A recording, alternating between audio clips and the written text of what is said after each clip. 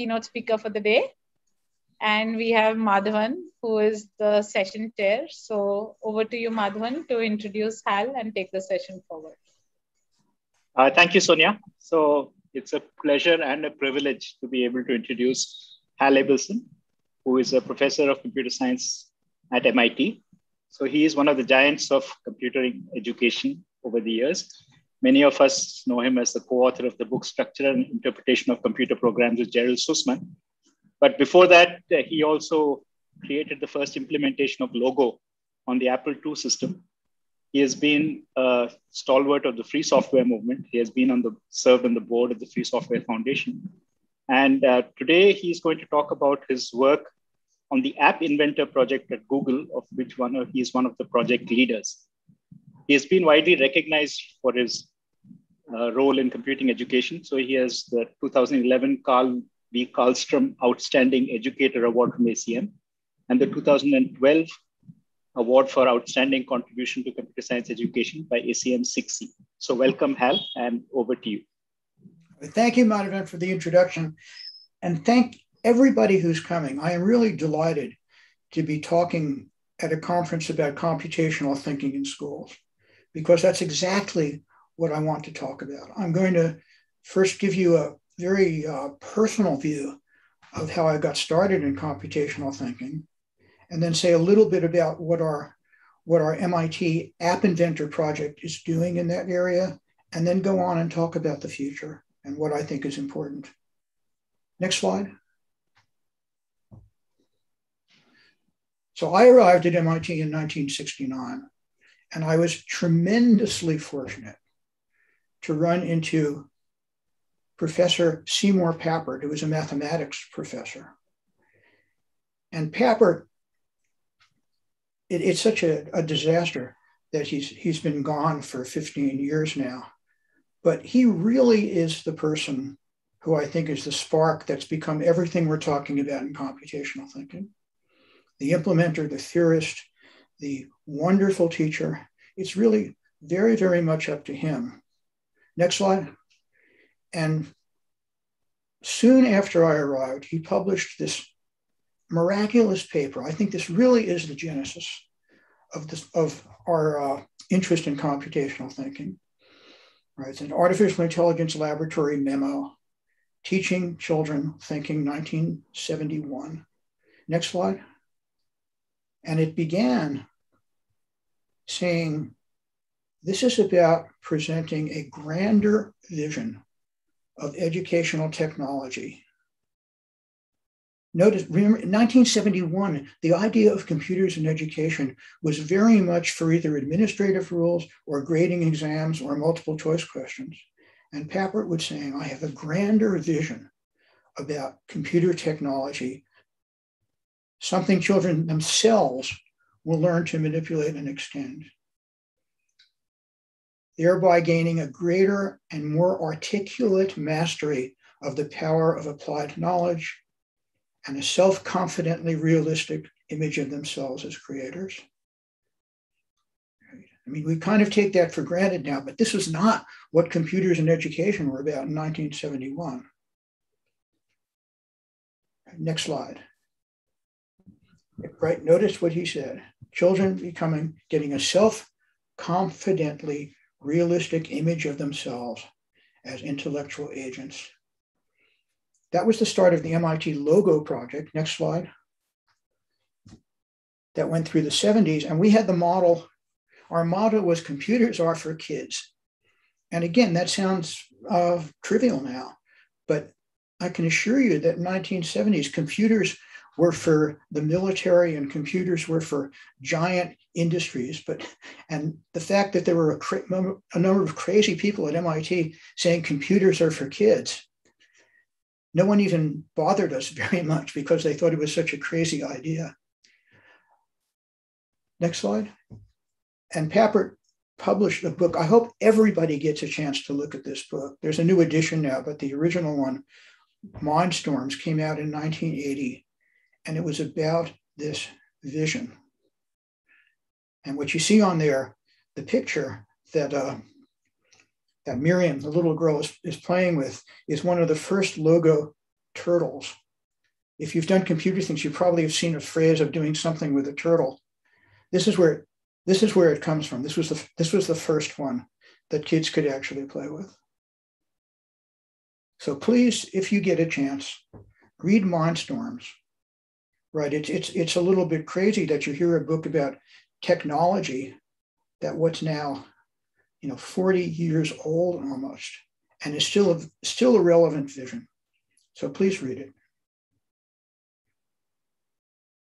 And what we said when we were working through the 70s, because computers were million dollar devices, we said if computers were only oh $10,000, that would change education. You see how naive we were. But in the meantime, the personal computer was coming on board. Next slide. And we implemented logo for the Apple II, logo for the Texas Instruments 99.4. And it was first the first time when, when we said, gosh, kids could be able to get individual access to computers. It's the first time that became real. So we put logo, we, we put logo on the Apple II and it started spreading. And I think many people who are professionals today got their first look at even computing from logo on the Apple II. It's something we're very, very proud of at MIT. Next slide. So after that, I started I started working with my colleague Jerry Sussman and his wife Julie on what became MIT's main introductory computer course. It started in about 1981 and was that for 12 or 13 years. And the philosophy of that course was directly inspired by Papert's vision and his ideas of computational thinking. If, if you just read the quote from our preface, right, it says, computing is a revolution in the way we think and the way we express what we think, and only incidentally about getting these uh, computer devices to do things. Right? And that was a, a very, that, that was just, just a very different way of articulating, in this case for college freshmen, what, what this whole area is about. Uh, one of those college freshmen, next slide, at MIT, was Jeannette Wing, a freshman then, who took our course called Jeannette Wing, called uh, uh, who took our course, Jeannette Wing. Uh, she has since been head of the department at Carnegie Mellon University. Today, she's vice president of research at, Mac, at Microsoft. And when she wrote that, she was head of the Computer Information Science Division at the National Science Foundation. 2006. And she wrote what became a very, very influential paper called Computational Thinking and presented the idea that I guess is even radical today that computational thinking and learning about computers are a universally applicable skill set that everyone, not just computer scientists, should be eager to learn. This was pretty much ignored. Only the computer scientists saw it. But since then, and I think you all know, since then, since 2006, this idea of computational thinking has become more and more and more appropriate. And while not everyone believes today that everyone should learn computational thinking, it's pretty widespread belief that learning about computers, even in uh, primary school, is important. And you all, you all are the ones who are making that happen. So thank you, thank you, thank you. Uh, computational thinking, next slide. Yeah, what, what's that about? We think about, you know, the ideas and computational thinking. We say we say it's about it's about these important, powerful ideas. Um, you know, they're, they're ideas like next next slide. like where like sequences, next slide, events, loops, next slide, parallelism, right? Conditionals, all the things that we talk about when we say we're talking about computing, right? Data, next slide. Operators, next slide. Next slide, right? Iteration, all these ideas. Next slide, recursion. Next slide, and next slide. Right. And one more, one next slide, one more, and then one more. And this is what we are thinking about when we're teaching computational thinking. And what I want to say is, next slide, that this might be missing a key point. So this focus on, let's call it the mechanics of the vocabulary of using computers might be missing a key point. Right, next slide. Right, let's go back to Papert. What did Papert say in 1971? What was it about? He didn't say it was about conditionals, and he didn't say it was about sequences, right? He said it's about giving people a greater and more articulate mastery of the world. And self confidently realistic images of themselves as intellectual agents. So I don't talk so much right now about computational thinking. next slide. Because that it's wonderful stuff, but it might be missing the most important point.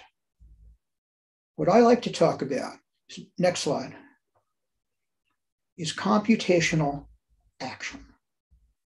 What's computational action? Right, next slide. Right.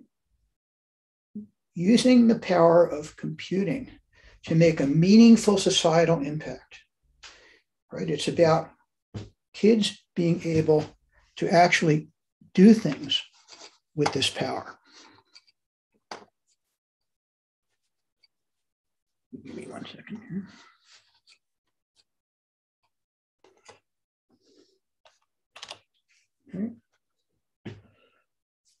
What do I mean by that?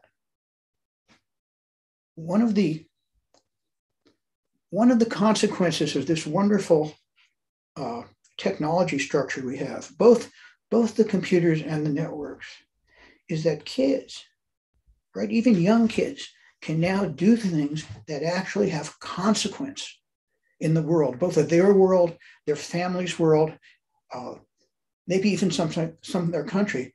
Let me give you an example. Next slide.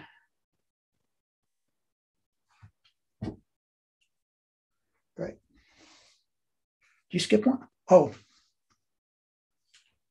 Right. Right. So let me say more about computational action. There are two pieces of it. One is we call computational identity. And that's being able to situate what you're doing in a contexts that are personally relevant. And then the, the other one's called digital empowerment, which is kids can really see themselves as change agents, that they can use this technology, not just be consumers of it. Let's try next slide.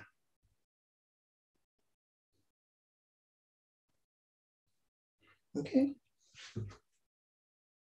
So let me give you an example. So Dharavi is out, outside of Mumbai. I'm, I'm, sure I'm sure you know it's one of the largest slums in India. And uh, right, next slide. Right, it's got about a million people in it. Next slide.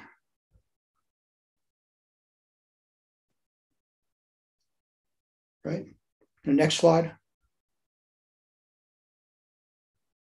Okay, so Dharavi is home to about a million people. I, I think the average income is about fifty dollars a month. You, if I'm not right, you, you can find that better than better than I can. And next slide. All right, and Dharavi is also home to the Dharavi Code Girls, who's a group of girls who are about ages 12 to 16. The Dharavi Girls for Change. Next slide. right? And what they do is they apply technology, and in particular are making, making apps to things that will help their community. Next slide. Right, so one of the examples is they have an application that they call Pani that schedules your family's time at, at the at the community water water collection site right? And that way you don't have to fight over it it's scheduled.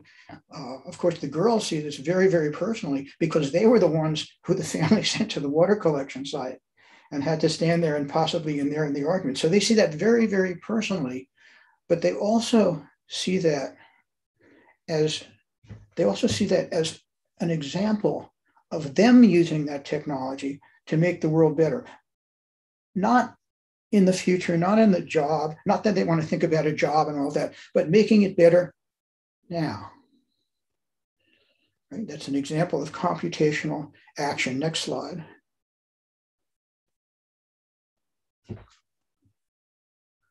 Right? And what Pani demonstrates as computational action is that even children in the poorest communities can start using this technology to improve life for the people around them. Next slide. So Moldova is a country between Russia and Romania. Right? One of the one of the one of the things in Moldova is that they have a large hepatitis problem and there's lots of instances of bad water. Right? So another group, next slide, of I think I think six high school girls have created an app to help their country, help them find sources of pure water. And the way it works in the app is you go to this water source, you take you take a picture of that source with your mobile phone, you fill out a little questionnaire saying, what's the water like? Is it available? Is it good? Is it not? And then that goes on a database, on a map, on a Google map that's accessible throughout Moldova, actually, probably throughout the world. And so, what the consequence is that anybody traveling around in Moldova can look at this thing and say, where are the sources of pure water? Okay. Next slide right? So think about that as a national resource that was created by a couple of high school girls as a project. This is the kind of thing that is possible now with technology. Next slide. Right? Even children can create valuable resources that have nationwide scope. I mean, think about that. As you're as you're teaching about computational thinking and computational action, think about your kids as initiators of change that can have a national impact. It really happens. It's really true now. Next slide. So let me let me go from from let me go from Eastern Europe and India to uh, the U.S., where a group of middle school kids, middle school girls, developed an app to help the grandfather of one of those girls who's having Alzheimer's. And she wanted to do something to help somebody who has dementia. And what she produced is actually very, very simple. It's a to do list that reminds you when to take your medication. So, as an app, that's, that's very simple technically right? And your, your students should be able to do that. But think about what that means to her and her classmates. She was being very personal, and she said, I made this app as a tribute to my grandfather. And not only that, as something that would help would help all kinds of elderly people who are having problems with dementia. And again, in honor of my grandfather. Next slide. Right?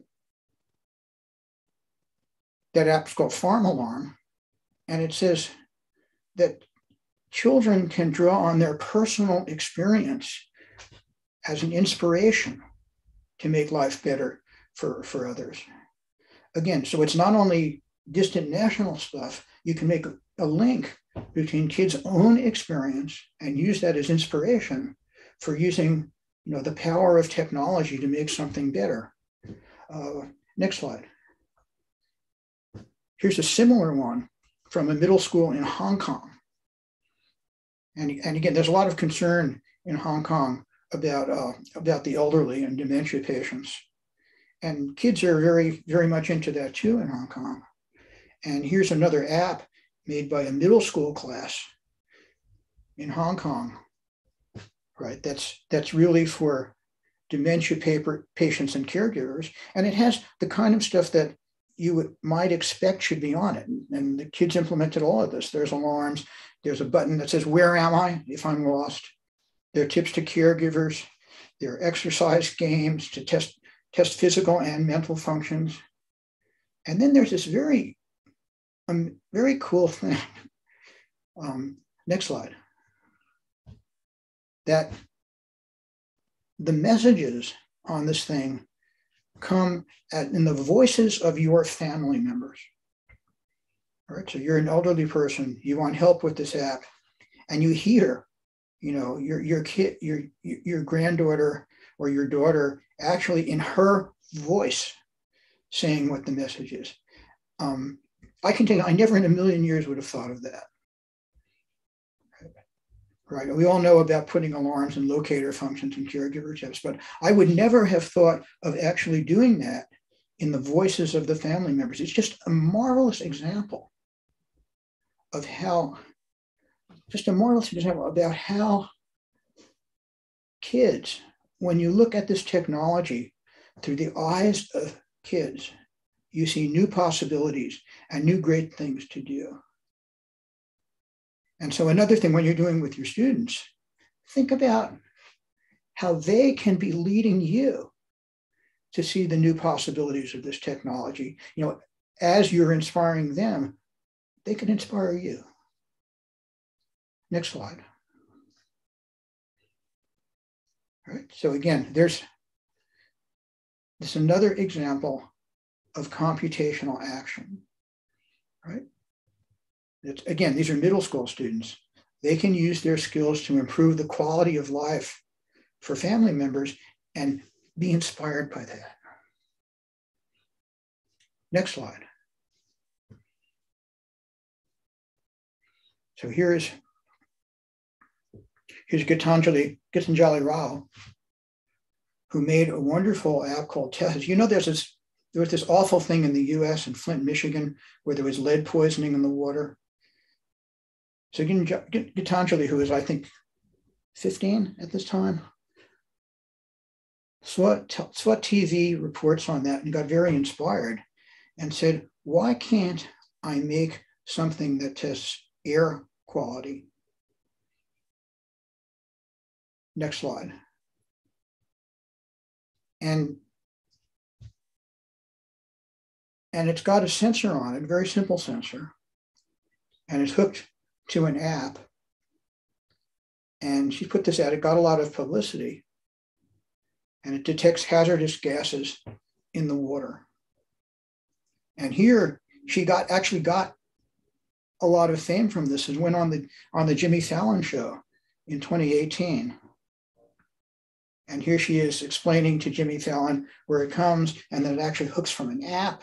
And I created this custom app with using MIT App Inventor for Android phone. And Jimmy Fallon says, You're 12 years old? Just, just sort of this sense of amazement that these kinds of contributions can come from young kids. Next slide.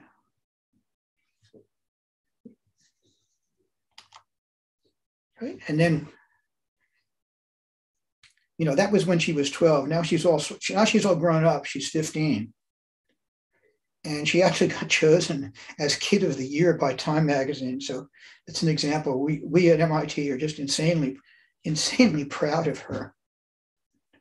But it's an example of, again, it's about looking at the technology that we're also interested in as sources of empowerment and sources of empowerment of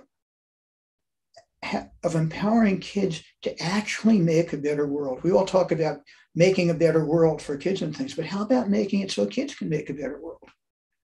And it doesn't have to be a better world 20 years from now, or 10 years from now, or five years from now when they go to college. It can be now, right? Kids in middle school, kids in high school. We're even doing some things in App Inventor with kids in primary school. This is immediate now kind of opportunity. Okay. Next slide. So the way you use this is we run a server at MIT that allows allows anybody in the world to uh, connect to it and create and create these apps and then download them to tablets and mobile phones and run things. We have about a million users a month, a million active users a month, about 100,000 active users a day. Actually, that was last year. It's about it's about the same now. It wasn't affected all that much by the pandemic. And there you can see the main countries that are using it. Right, top are U.S., Mexico, South Korea, and Taiwan, which are all very very big. Uh, India India is somewhat lower. I'm a little surprised by that. When we ran a content when we ran a contest in July on making apps, India was by far the largest number of users. So there's a lot of in, a lot of really interesting stuff that's happening in India, happening with your kids. You know, you're having a real impact on the global progress of this kind of education.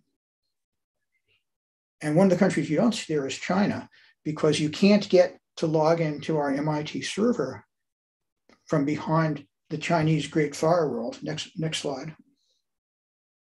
So in fact, we have a arrangement with the uh, municipal government in Guangzhou that they are mounting a clone of our MIT server, and they've got about 300,000 users in China, which is really enormously small for China, but uh, there's a lot of other interest happening. Okay, next slide. We ran a, a hack, we run a hackathon in July. This one shows you from from not not the one a couple of months ago, but the one a year ago. And it's about asking people, any people, whether kids or not. We have we have users, we have had entries in here from age four to age 84.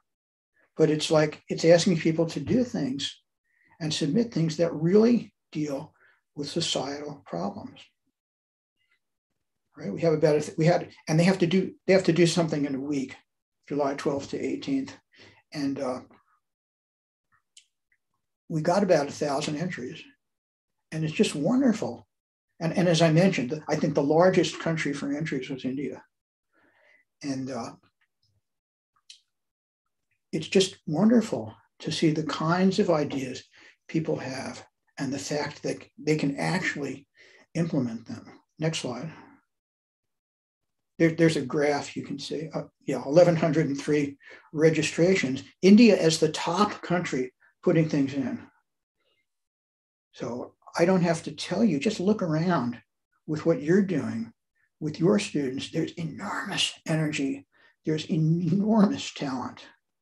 So you right now, today, right, are in the super position, maybe the best in the world, to make this global change, to really get people to think less about uh, standard meanings of uh, words in computing languages and think more about what can I do with it? How can I have the impact? Right? Not, not how can I have the impact if I go to university and get a job and do something, but how can I, right, as a student in primary school, do something that makes a difference? These, these results from our hackathon demonstrate that. Okay, next slide. So that's thinking about computational action today. That's today. Tomorrow. Next slide. As you all know, we're entering this new age of artificial intelligence. And what's interesting to me about this, next slide, is I started talking about Seymour Papert. The other thing that Seymour Papert was doing at MIT when he was initiating the Logo project and initiating basically everything we're doing in computational thinking. But he was also at the same time, next slide, working with Marvin Minsky to direct the MIT Artificial Intelligence Lab. And here you see a quote from their progress report to, uh, to the government in 1972 that says what we're doing is we're talking about combining technical progress with a point of view about the theory of intelligence. Technical progress in making machines and robots and do things with really thinking about, about thinking. Next slide. And I talked about the logo project. There's a logo there, there's there's a logo project again. The one on the yellow, by the way, is the very, very, very first turtle logo turtle, and it was the very, very best because the kids in first grade could ride on it. We're only right now getting back in robotics where we think about stuff that the kids actually can physically interact with. But in any case, that's that's the first that that's the first turtle, and that's what we were saying in the 70s when we said computers are for kids. But in fact, next slide. Right, many of the researchers in the MIT AI lab in the 70s, the ones who were sort of, you know, creating the foundations of artificial intelligence. And at the same time, they were exploring this idea of computers for kids.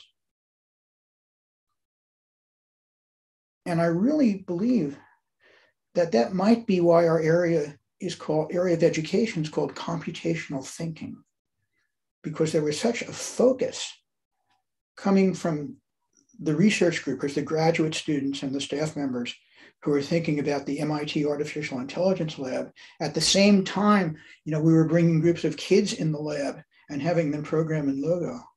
Maybe there was such a focus on thinking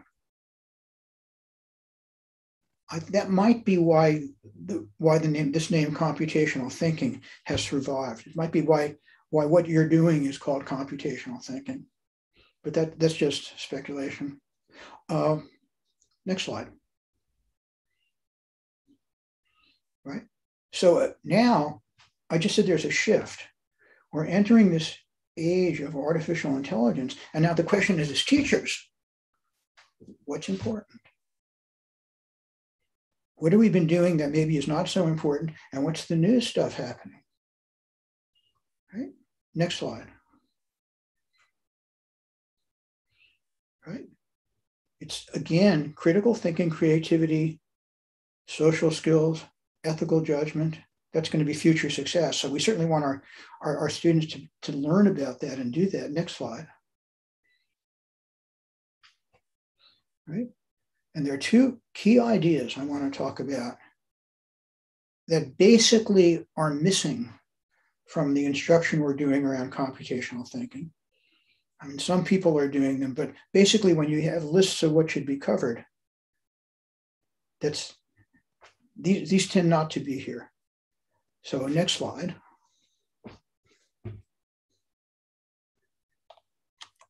The first one are statistical methods. So when we talk about machine learning and neural nets and all of this stuff, there's a big use of probability and statistics and getting students to understand how that works. Let me give you my, my uh, simplest possible that I know explanation of machine learning. Right? Next slide. let's suppose we want to make a machine that is going to look at a picture of a dog and predict whether the dog will bite. Okay, that's our that's our AI neural network machine learning kind of machine. But let's make it so that so it's really easy to understand what's going on. So you start with a group of experts who are supposed to determine whether a dog will bite or not and have them vote. Next slide. And their votes have weights. So that top blue one, uh, if they vote yes, that's one. It's worth 1.1. And the bottom uh, red one, if they vote yes, is worth 0.7. But the, the votes are weighted. Okay, and now if you want to run this machine, next slide, right? You show these experts the pic, a picture of a dog, and you say, is this dog going to bite? And then each one kind of says yes or no. So the blue one thinks no, and the red one thinks no, and the, the yellow one thinks yes. So you take their votes with their weights and you tally them up. So here you get a tally of 4.5 no, 3.05 yes, and your machine overall says, yeah, the dog will bite. Okay. Next slide. Now you go to somebody who really knows whether or not those answers were correct. So-called supervisory learning. Someone says, I looked at what the expert said. I know which what was the right answer for the dog. Uh, the blue one on top voted no, but in fact the dog bit. So the blue one was wrong. So you in, so you decrease the weight on the blue one a little bit from 1.1 votes to 1.0 votes. Okay, and next slide. Right. So in general, you increase the weights from the experts who answered correctly, and you decrease a little bit from the ones who got it wrong. Okay, next slide. Now you find you go show these experts another dog, and you ask the same question: Who thinks the dog's going to bite? Who thinks the dog's not going to bite? All the experts vote again. You have a tally again, and you do you do the same thing. Next slide. Right? You take the you see which ones were correct and which ones were incorrect and you modify the weights a little bit. You give more weight to the ones that were correct and take a little away from the ones that were incorrect. Next slide. Right? And you keep going, and now you go again, and now you show it another, another dog. Okay, and do the same thing. Next slide. Okay. And you keep doing this over and over and over again. And the idea is when you when you've trained this machine on many, many dogs, it tends to give good answers. That's called that. What, what I mean to say is it tends to give good answers, not only for the particular dogs you've shown it, but kind of for any dog. That's called generalization. And the idea in machine learning is if you show it enough examples and correct examples, then it generalizes right? So it can answer things not only about the particular examples you showed it, but about anything. Next slide. So to say this in a little bit more traditional notation of the kind you, you might see in a course on machine learning, right? We've, we've made a neural network dog bite predictor. And it works just like I, like I, like I said, each what's called neurons at the end have a weight. They say plus or minus one for yes or no. All those plus or minus ones are multiplied by their weights, added together, and put into a, a, sum, a summation. And then you check whether the sum of all those things is positive or negative, and that's the answer you give. Okay, so, so you've just seen you, you've just seen an example of basically how machine learning works. Next slide. Right. So to say it in a little bit more firm, more formally, those pictures of dogs are what we would call training data.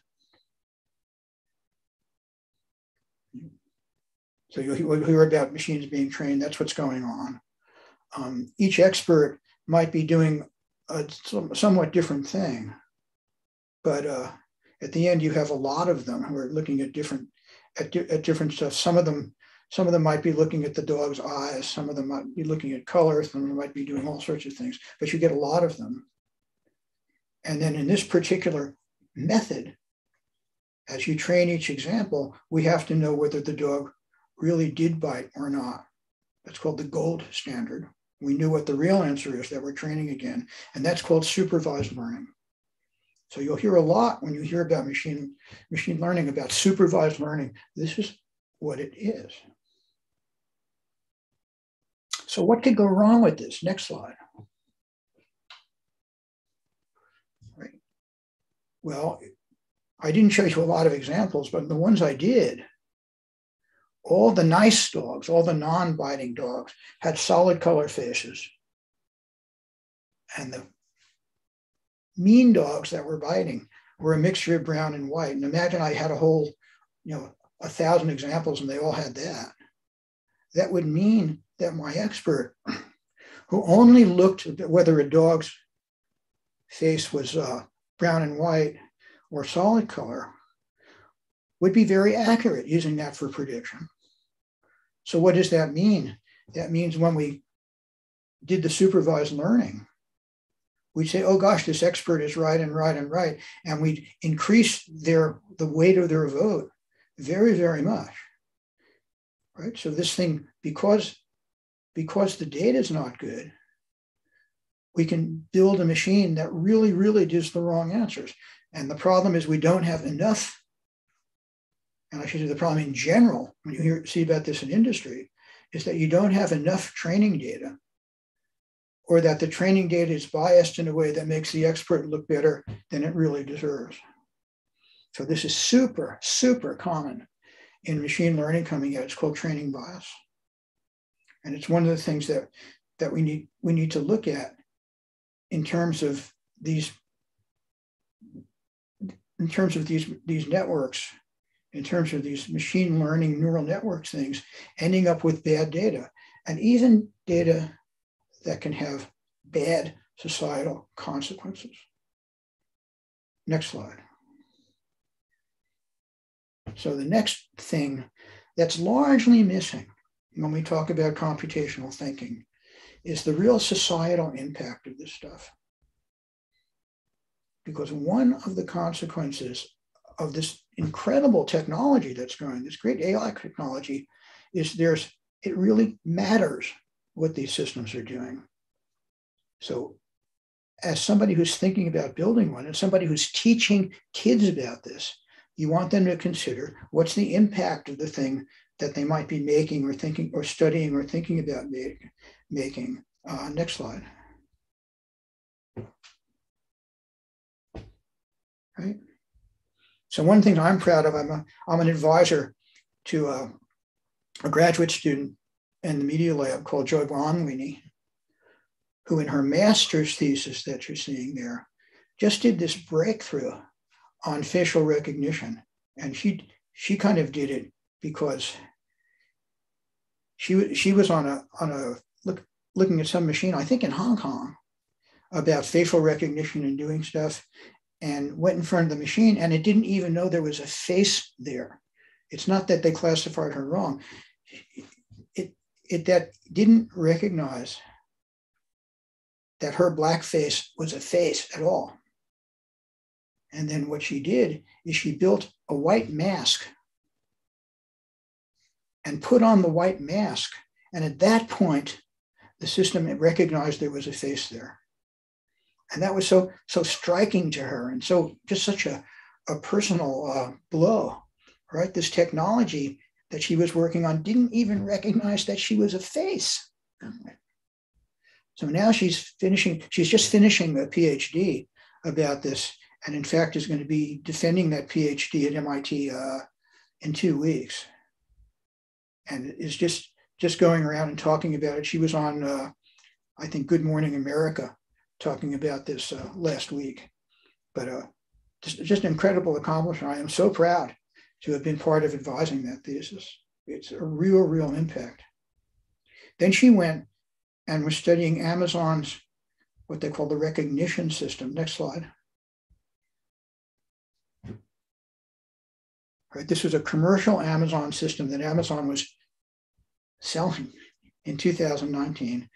And they tested how good this commercial system that Amazon was selling was with different people. And they found the results that you see that it would really did wonderful on light-skinned males. And if you compared that with dark-skinned females, it was terrible. Right? These are facial, this is facial recognition. Right? And what what Joy, what Joy and Timnit found out that these systems really, really perform worse or perform better on light-skinned males than on other parts of the population. And Amazon sort of said, well, uh, blah, blah, blah, the experiments aren't good and all this stuff. But at the end, I think Amazon has stopped selling this just because what the, the research they did was so compelling and so good. I'll show you another example. Next slide. Right, so here's someone in New Zealand who was denied a passport. Right, actually denied a passport because the passport system said your eyes are closed. Right, so you see these systems are built with enormous bias against the non against the, the, the major populations where they're being designed. So just, just think about that. That's just one example of a real consequence to somebody from the machine being misdesigned, or to go back, mis, could, we could say mistrained, although there are other reasons bias get into system. But in this case, you can imagine the system being trained, and you can imagine the company creating the system and basically they're creating it with pictures of white guys. So one of the things that's happening that I'm sure you know, there's a lot of criticism of facial recognition going on. Next slide. Right, so you're seeing, oh, this is even in the last couple of months, you see places that are now actually banning the use of facial recognition and studying it because, because there's so much, there's so much ability, there's so much opportunity for abuse in this right? And people are starting to realize it. And again, it's something that your students should think about also, because at the end, you're it's your students that you're empowering to make these things, and shouldn't they shouldn't they really get used to thinking critically about the consequences of the things that they would be making? Okay, next slide. Let me let me let me just sort of sum up and switch to that. I'm, I'm a member, a bunch of people are members of something called AI for K-12. And you can, you can go look, it look it up. And what, what our charter is, we're from the Association for the Advancement of Artificial, Artificial Intelligence and the Computer Science Teachers of America. It's a joint project of those, of those two. And what we're supposed to be doing is creating a framework for what should be taught in K through 12. So we're publishing it little, little by little and taking care to get lots and lots of comments on it. You can go to AI, you can go, you can go to AI4K12.org. Next slide. Right, we're trying to make national guidelines. They're divided into four grade bands that you see there, K to 2, 3 to 5, 6 to 8, 9 to 12. What should students know? And more than that, what should students be able to do? So there's a bunch of us sitting around scratching our heads saying what are what, what's reasonable and what should you know what should students six to eight know about machine learning or about data? What should students in kindergarten through age two know about uh, interacting with a social robot or things like that. We've we're developing a curated resource directory that's aimed for teachers. So I don't I don't think that's published yet, but hopefully that'll be something that around for you to look at. And we're trying to foster a community of practice about researchers and teachers. So I hope that takes off. You want to look at that next slide. Right, what that looks like is we've said there are really five big ideas in AI that we want people to know about, right? Perception, right? How to how to, how computers and people process sound and vision and all of that. How's perception work? Representation and reasoning, how does that get translated into something that computers can actually deal with? Learning, which is machine learning, like I just hinted at before. Natural interaction. How do we make it so if I'm conversing or interacting with some kind of some kind of machine or robot or something that can be natural? And then lastly, and all through this, is societal impact. So this is what our group says are the five big ideas in AI, and we're, we're expanding things along that framework. Okay, next slide to bring it to an end. I started talking about computational thinking and tried to say we're now in a world where it's not just thinking about those uh, the, the sort of formal elements of computer programming languages and stuff. It's really about action. It's really about action that your students can do right now. And then went on to say, if we look into the future a little bit, we're going to be in the world of artificial intelligence devices and robots and all kinds of things. So you need to be thinking about AI education. I know many, many, many people are thinking about that now, but it's going to become more and more and more. Next slide. Okay, and the thing I'd like to say, the general framework beyond this is that we're get, we're increasing empowerment and empowerment for learners. The things that some of the things I told you about, the AI things that kids can make make now would have been impossible outside of the largest research labs five years ago. The machine learning things would have been impossible even two years ago. If for those of you who have iPhones, you know, you know that you can you can show your right, you can show you can log into your iPhone by facial recognition that's running on the phone right, right on the phone is doing the facial rec- recognition computation. That's only in the last couple of years. And these are now capabilities that your kids can harness. Examples of more impact that they can have that even, you know, that even the world's largest research labs could not have had 10 years ago. So understand that dynamic and get ready to take advantage of it. Next slide. Okay, and remember, for me, it's all about what Papert wrote in 1971. It's giving your kids a greater and more articulate mastery of the world, a sense of the power of applied knowledge, and most importantly, a realistic image of themselves as intellectual agents. That's what this technology can do. Next slide. And there we are. That's the end of the talk. But next slide. It's not the end, right? It's just the beginning of this world that we are entering in which your students can be empowered. And most importantly, that we as teachers can be inspired and empowered. So thank you very much.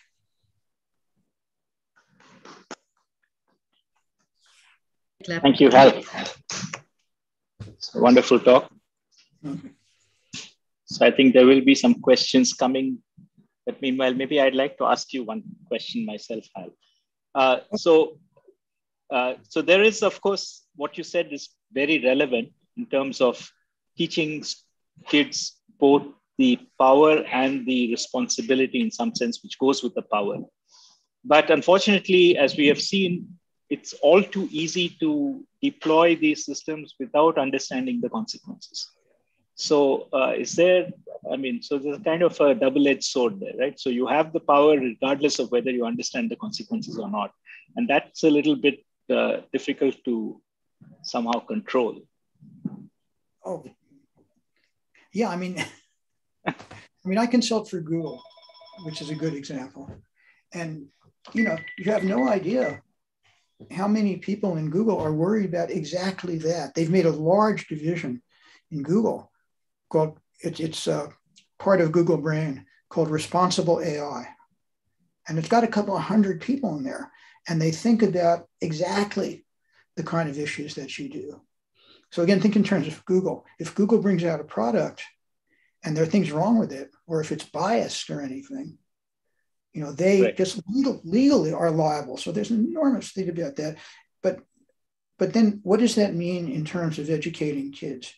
You want kids to be aware, you want the kids to learn to be to be critical and to think about those issues, you know, not not only 20 years from now, because they might be, I don't know, designers working for Google, right? They won't be or something, but but you want you want kids to have that kind of ability to question and to be critical. And that's right now, that's even in, in primary school. So it's a thing we should be thinking about a lot. It's a great question. So any other questions anybody would like to ask? I don't see any in the chat yet. A lot of people, of course, are very appreciative of the talk, but no concrete questions that I've seen yet. Uh, may I uh, ask okay. Madhavan?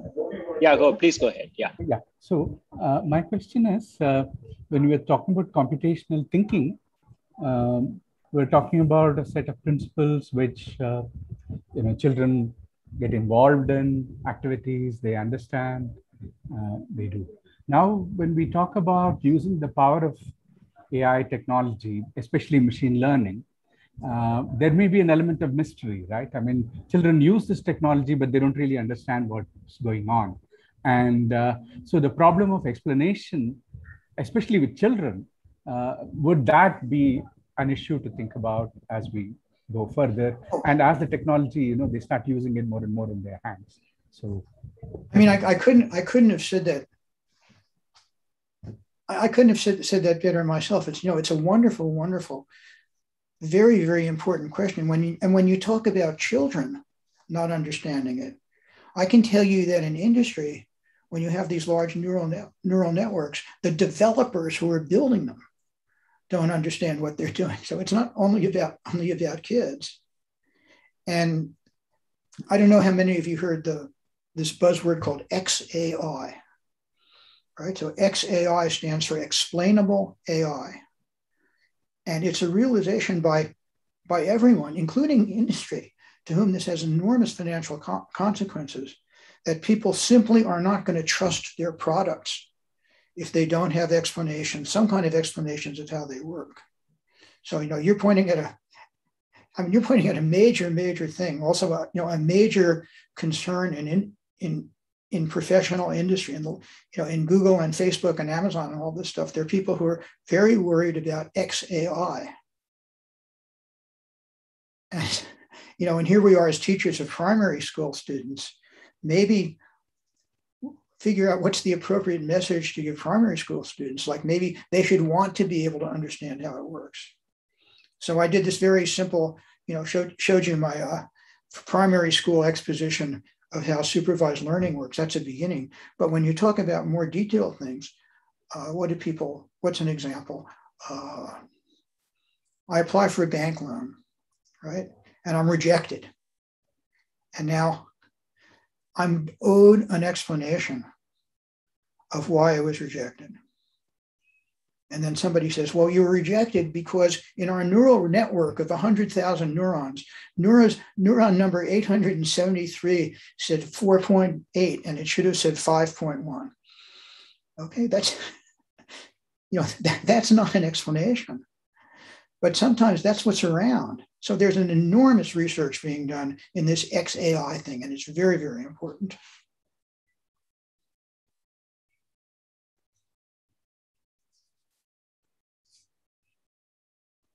Madhavan, you're on mute. Yeah, I had a couple of questions on the chat. So I'll pass oh, them on in, in the order in which I see them. So the sure. first one is uh, what is the difference in impact in computational thinking and cognitive skills when learning AI with or without statistics? Okay, well, so, I'm not, I'm not, I'm not a researcher, so I can only speculate. But in this world of, you know, in, in, in this world specifically of machine learning, you're getting out probabilities and estimates. It's a very important difference. So in most of the things where we've been exercising in computing, there's a, there's a computer and it's getting an answer. But when you get into these areas, I mean, anything in machine learning, really, but anything that really has societal impact, those, th- those really, really are places where people have to apply judgment, where there's room for argument. And then again, in a classroom, even of young kids, you know, you can easily, you can easily imagine, and many people do, it's not whether there's a right or wrong answer. It's having the kids think about the extent to which these answers are right or wrong. And those, I'm, I'm not a researcher, so, right, or a psychologist, but those that's co- cognitively very, very, very different. And it's a thing that hasn't been in the computer science class until now very much. And in the future, it's going to be there more and more and more. As the technology has more impact on society, it becomes more important for kids to get exposed to that kind of thinking. Okay, so I'm going to paraphrase the next question a little bit. So it's related to the question that I asked, but in a more pointed way. So we were talking about the, uh, you know, teaching kids about societal impact. So the question is that, but you already have big companies like Google and Facebook, which are exploiting AI for commercial advantage. And so in a sense, it's kind of, the question is that, I mean, is regulations are not in place to guard against, in some sense, the misuse of uh, AI. So, how do we cope with that? I mean, is it something right, that so we can? So, first of all, I got to be careful. I'm a Google consultant. So I want to make sure that when I say things in the public for, forum, you know, I'm not sort of speaking in terms of Google policy. But I can tell you in this case that Sundar Pichai, who is the head of Google, has said many times that this needs regulation. So Google's real, pol- real policy here is, is accepting the fact that regulation is important and then trying, trying to craft the, but that of course doesn't tell you what kind of regulation. So it's, so it, yeah, so that's the question, right? Yeah, I, I guess, yeah. How do you design regulations which, which can capture this and limit this in a sensible way. So anyway, but I agree, it's an open-ended thing, and I don't think we have an answer. But it's good that and, and very and very controversial. Yeah, and also, it's, but it's good to hear that a company like Google is consciously pushing for this as a self-limiting exercise. So the next question is, uh, what what do you think are the role is the role of AI in designing learning environments? How does it change the learner's relationship with learning? Well, can we use AI for designing learning environments? Yeah, I mean, of course, that's been, gosh, that's been part of the vision since the 60s.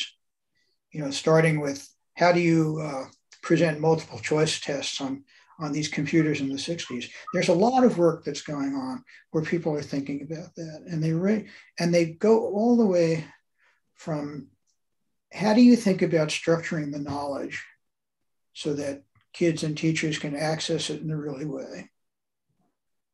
All the way, you know, to things that are scary. Like I think you know about the.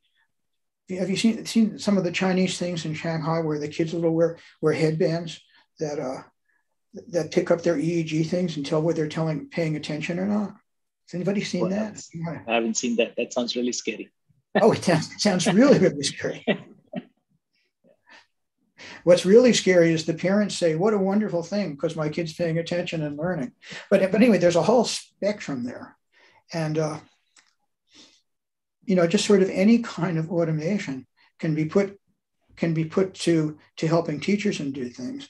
There are things like reactions. I mean, at MIT we have, you know, we have things where if I'm giving a lecture like this, I can get some sense of whether it's getting through to to everybody here just by, you know, in this case, seeing whether they're looking at looking at the camera or not. You know, so you can consider that an, that an AI thing. But there's there's just lots and lots and lots. It's a giant important application, and you know, AI and other stuff is very is very uh, acceptable to that. Okay, so another question. This is a different track, so it goes back to more traditional computational thinking. So if you learn stuff like conditionals, if then else, and so on at an early age, does it somehow restrict your thinking, make it, make it, more straitjacketed and uh, kind of force you to think along predictable lines? Is that, is that hampering creativity in some sense? Oh, I mean, I mean, what a wonderful question, right? Um, I, I wouldn't, I wouldn't even begin to try to answer that, other than hope people actually do this based on data rather than on prejudice. We all know the right. We know know the example. You know, the computer nerd who, uh, the, right, the, the computer nerd who just nothing but but is not interacting with anyone or not thinking about it. Have you heard? Have you heard the joke about what is an extrovert in computers in computer science? An extrovert is someone that when they're talking to you, they're looking at your shoes rather than their shoes. Yeah. right. So there's all, there's all these yeah. ideas about what that does. I'm not going to speculate on that. I think there are, lots of, there are lots of effects rather than whether they're learning about conditions or stuff. Okay, so the, the next question is about one of the, I guess, one of the common concerns that many people have uh, in terms of terminology at least. So the line between AI and dominating natural intelligence, in some senses, AI kind of hampering, again, it's a different way of asking the same question is, is AI somehow reducing our natural ability to think by relying on AI technology? Well, again, I mean, there are lots of opinions all over the place based on very, very little data. Hmm. Um, there's, you know, there's fears about this.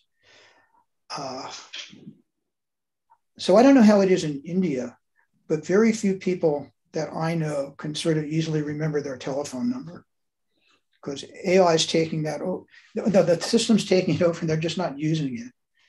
Right? I get embarrassed. Somebody asks me what my telephone number is, and I say, "Gosh, I, I don't remember my telephone number." And you can imagine AI you know, doing that in an extreme, extreme way. But so far it hasn't, so far that hasn't happened. And of course, the other side of this is that in AI, the computers will do these mundane tasks and free people to higher level thinking. But you have to, that just might be Pollyanna optimism. Mm. It's a very, very, very serious question. Yeah. So speaking of telephone numbers, see what I find is I can remember numbers from say the 1990s when I needed to remember them. I can still remember them, right. but I can't remember the numbers from the last 10 years when I did not need to remember them. Yeah, exactly. They were on my phone. So, I, uh, so uh, I guess I don't see any more questions in the chat here. Uh, so, is there anything else which I've missed? Does anybody see anything which I've missed? Uh, I think Manohar's in Q and A, where he talks about uh, doing this work. In oh, okay. So it was copied wrong in my on the doc. Okay. So let me see.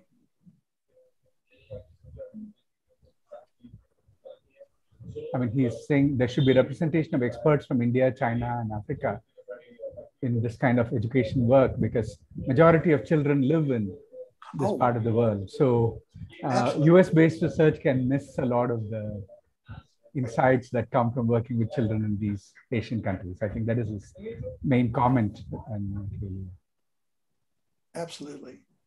Okay, everyone. I mean, thank you very much. I really, really enjoyed talking to a group like this because you are the group that really can make change. I mean, it's partly it's partly the technology, it's partly the attitudes that people have, but but also, I am completely impressed by how much activity there is in our work from India.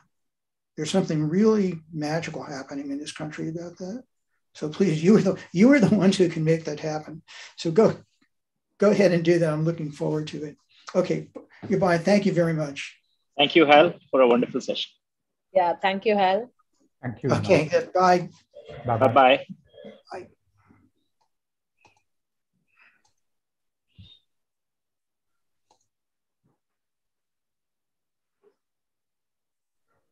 Okay, Sonia, I think should wind up and mention tomorrow.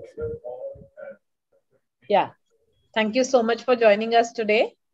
And tomorrow is the last and the final day of CTIS. So please join us tomorrow at 2 p.m. when we have the keynote with Wolfgang, and then we have a couple of teacher presentations, and we end with a session on CSpathshala. And we really look forward to seeing all of you. Thank you I so said much. two and not three. That's it. Pardon me? So 2 p.m. Starts at 2. 3. Yes, 2 p.m. It starts at 2 p.m. tomorrow. Okay. Yes. We'll be there, all. Sonia. Good night. Good night. Yeah. Bye. Bye. Thank you, Madhavan. Yeah. Bye. Bye.